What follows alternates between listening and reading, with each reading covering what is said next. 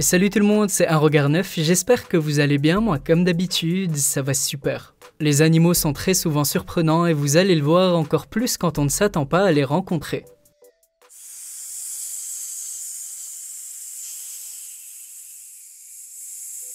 Alors de la bichette cambrioleuse au serpent qui toque à la porte, en passant par le serpent dans les toilettes, on part tout de suite à la découverte de 9 animaux qui se sont introduits dans des maisons et ça sans aucune autorisation. C'est parti. Numéro 1, le serpent dans les toilettes. Depuis qu'Internet est Internet et que les vidéos insolites existent, il faut dire que l'homme avec un grand H a développé des peurs incroyables comme par exemple qu'une grosse bête sorte des toilettes.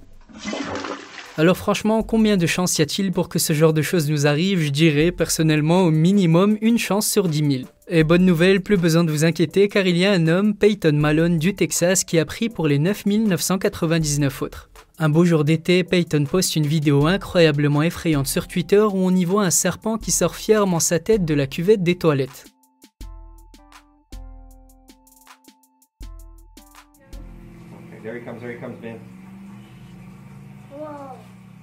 Hold on, hold on, Ben's gonna catch him.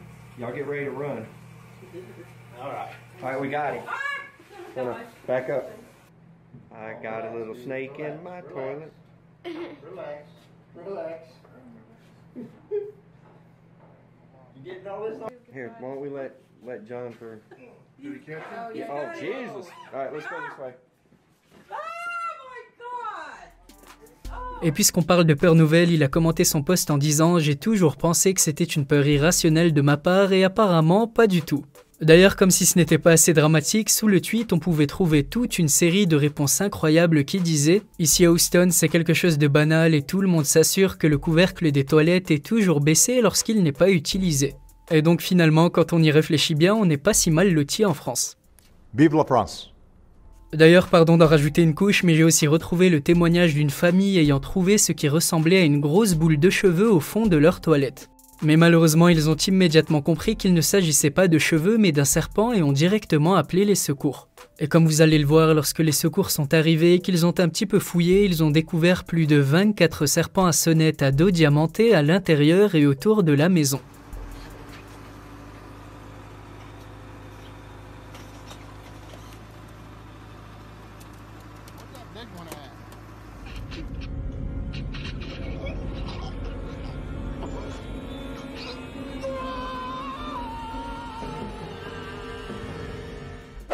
Numéro 2, l'invasion de souris. S'il y a bien une race d'animal qui est vraiment casse-pied, c'est bien les rongeurs. Et où qu'ils soient en plus, que ce soit dans les maisons, les habitations, les champs ou encore les hangars de stockage et même les restaurants, les souris et les rats dévastent tout sur leur passage et on en trouve vraiment partout que le lieu soit propre ou non. Il y a quelques années, le cauchemar est devenu réalité pour certains et il y a eu une invasion de souris dans les maisons et cultures de Nouvelle-Galles du Sud. They're pooping in your shoes.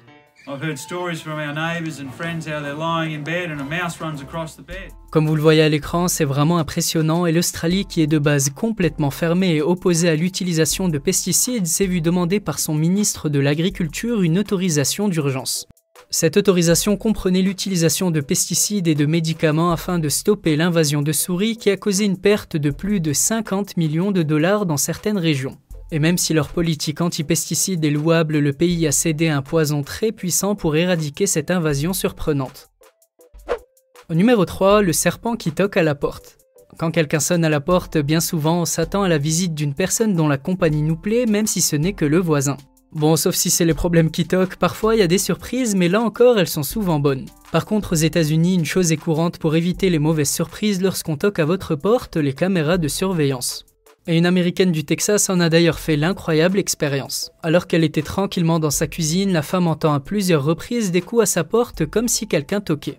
Vu qu'elle n'attendait personne, elle décide de visionner les images de ses caméras pour savoir de qui il s'agissait et il lui a fallu plusieurs secondes pour qu'elle puisse comprendre ce qu'elle voyait. Alors non, ce n'était pas un humain qui se tenait devant la porte, mais bel et bien un serpent qui s'amusait à taper sa porte avec sa tête.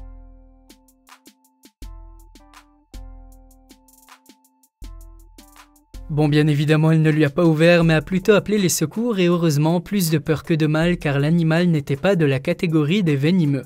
Et ce n'est d'ailleurs pas la première fois que ça arrive aux États-Unis, je vous laisse voir quelques extraits.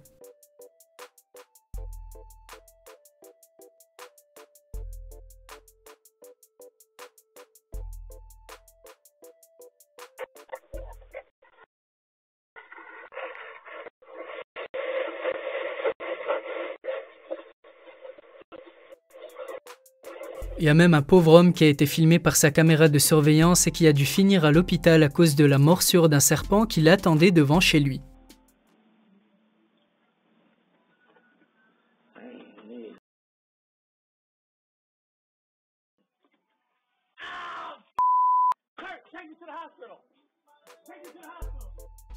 Numéro 4. Visite de Winnie l'ourson. Avoir une maison avec une piscine est un rêve pour beaucoup de personnes, un rayon de soleil ou des vacances à la maison et hop, on déplie la chaise longue et on profite du beau temps au bord de l'eau. Mais malheureusement, le rêve a plutôt tourné au cauchemar pour un homme nommé Matthew Bett. Alors qu'il faisait une sieste bien méritée près de sa piscine, il a été réveillé d'une manière assez particulière. À travers la vidéo de surveillance, on y voit un énorme ours brun entrer dans la propriété de Matthew et s'approcher de lui alors que l'homme était déjà assoupi. Et alors que cette scène aurait pu tourner au massacre, l'ours lui donne finalement une petite tape sur le pied avec sa patte comme s'il lui disait Eh mec, je suis ton invité, tu devrais faire un effort.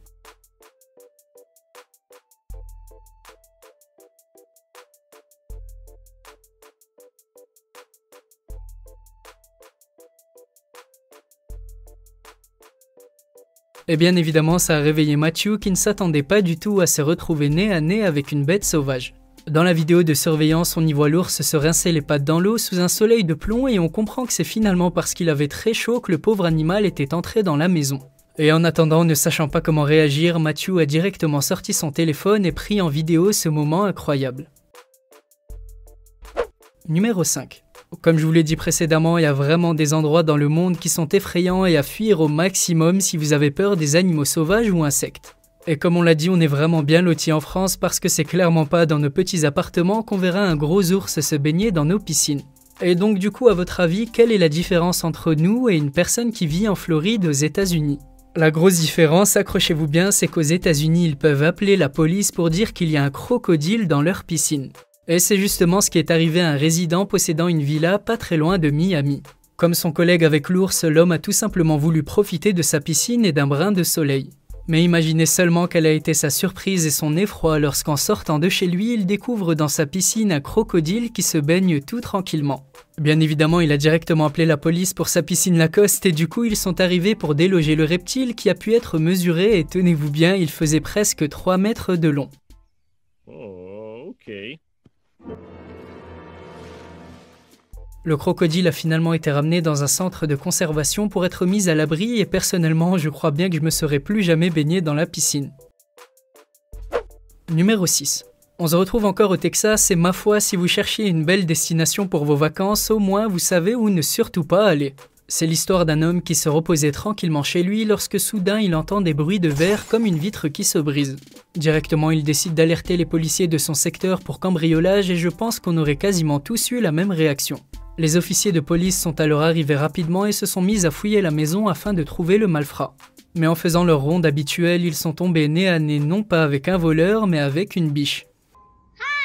Oui, vous avez bien entendu, une petite biche qui évidemment était toute paniquée et qui ne savait pas trop ce qu'elle faisait là.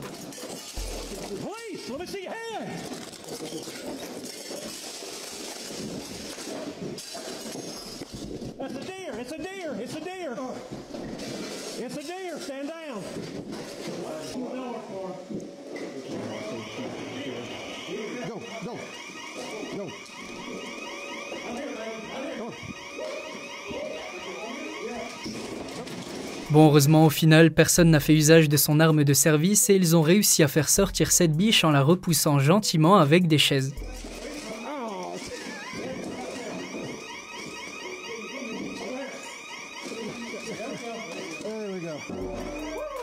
Le propriétaire de la maison, quant à lui, est resté caché dans son placard tout le temps que la police finisse leur travail.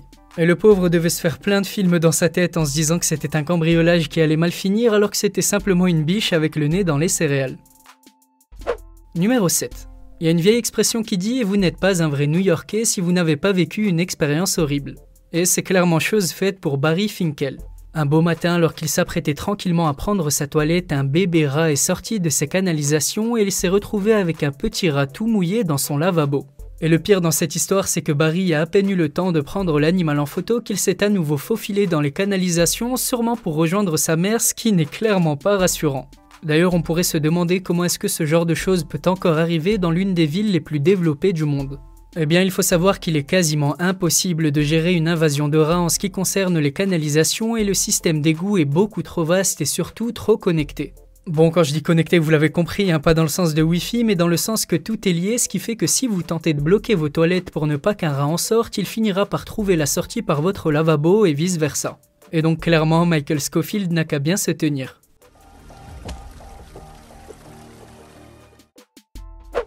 Numéro 8. Normalement, quand vous demandez à un enfant à quoi il pense quand il entend le mot ours, c'est tout de suite Winnie, le gros ourson avec son t-shirt trop petit et ses fameux pots de miel. Et l'ours est très souvent représenté dans les dessins animés comme un animal gentil et câlin. Ils m'ont bien attrapé. On y va? Oui. Oh, je les aime trop, ces petits. Il arrive aussi souvent qu'il soit représenté comme hyper glouton et une famille dans le Tennessee qui profitait gentiment du soleil en faisant un petit barbecue a pu le confirmer. Apparemment, l'odeur du barbecue et de la viande grillée a donné envie à l'ours qui s'est introduit dans la propriété bien déterminé à ne faire qu'une bouchée de toute la nourriture qu'il trouvait sur son chemin.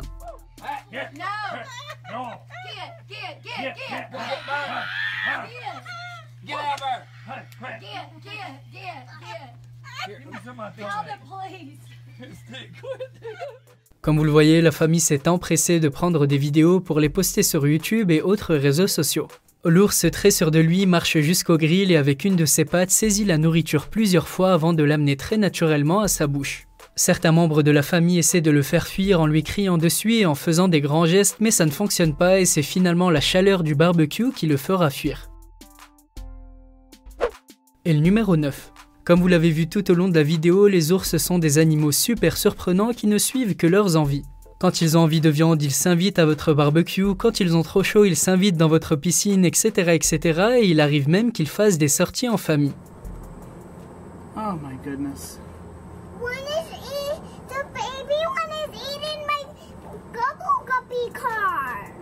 Et d'ailleurs, c'est justement comme ça qu'une femme nommée Regina Keller a fait la rencontre la plus incroyable de sa vie. Alors qu'elle était tranquillement en train d'arroser ses fleurs, elle a eu le droit à la visite d'un ours brun qui était venu se rafraîchir dans la petite piscine bleue de ses enfants. Et l'américaine, comme d'ailleurs tous les gens de cette vidéo, a eu le réflexe très 21e siècle de sortir son téléphone et tout filmer.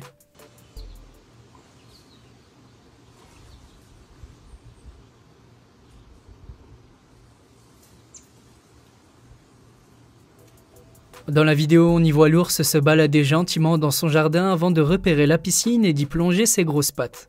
Au départ, on le voit un petit peu galérer vu qu'il est quand même bien grand et gros pour pouvoir s'allonger dans une piscine d'enfants, mais quand il a trouvé la position parfaite, il s'est mis à piquer du nez. Et il a finalement pu faire une bonne grosse sieste au frais.